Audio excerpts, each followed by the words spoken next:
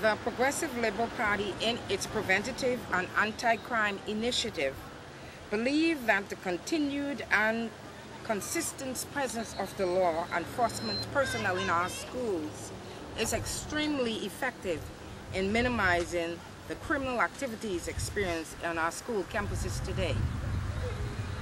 It is imperative that the government of the Bahamas ensure the safety of its students, teachers, staff and volunteers in our schools, free from the bureaucracy of politics.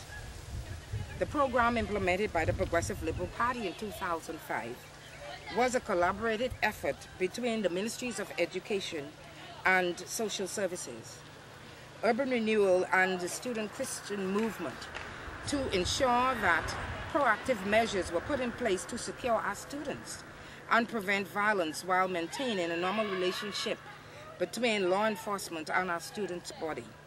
A social partnership that did not exist before. The officers assigned to this unit underwent almost five months of training. That included international training on school safety. The officers were sworn as auxiliary constables, giving them the same powers on the campus as regular police officers. The officers were posted at all junior and senior high schools in New Providence and Grand Bahama. We believe the continued presence of the police within the schools prevent many attempts by aggressive students who bully others.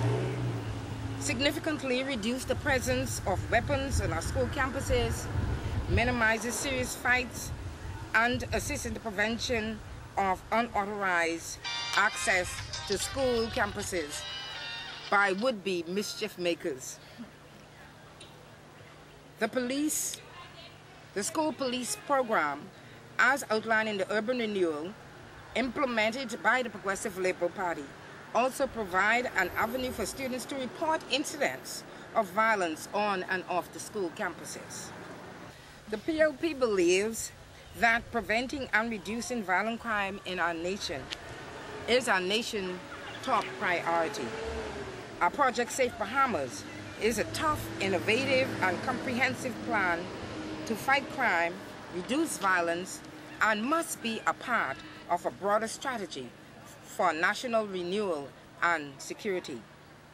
We intend to double investment in education, supporting and improving education at every level, from preschool through graduate level programs.